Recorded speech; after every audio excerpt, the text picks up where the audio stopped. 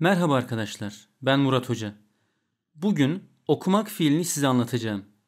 Okumak fiilinin şimdiki zaman, gelecek zaman, geniş zaman ve görülen geçmiş zamana göre çekimini göstereceğim.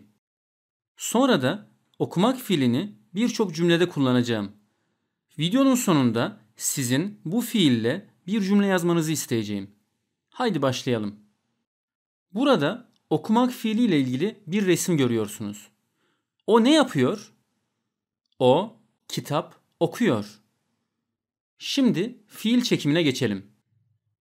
Her zaman önce fiili, sonra zaman ekini, en sonunda şahıs ekini yazıyoruz.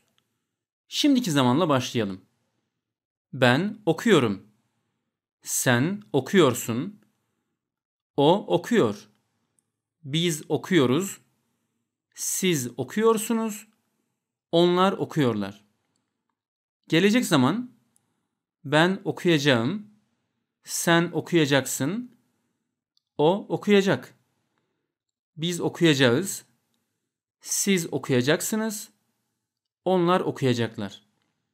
Gelecek zamanda okumak fiiliyle acak zaman ekinin arasına y geliyor.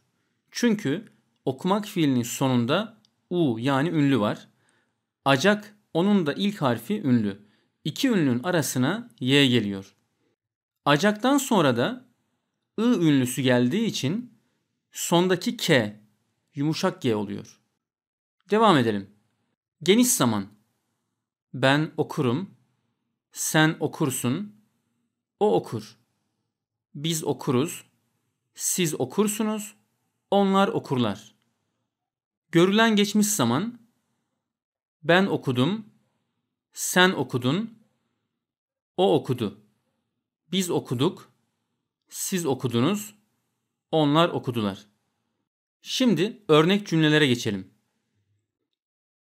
Ben şimdi bir kitap okuyorum. Sen en son hangi kitabı okudun? Tuğba gelecek yıl üniversitede okuyacak. Devam edelim. Biz her gün gazete okuruz. Siz benim düşüncelerimi nasıl okudunuz? Görevliler su sayaçlarını okudular.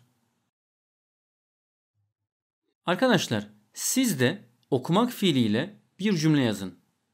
You can write a sentence with okumak to the comment site. Videomuzun sonuna geldik. Lütfen Kanalıma abone olmayı, videoları beğenmeyi ve yorum yazmayı unutmayın. Hepinize iyi günler dilerim.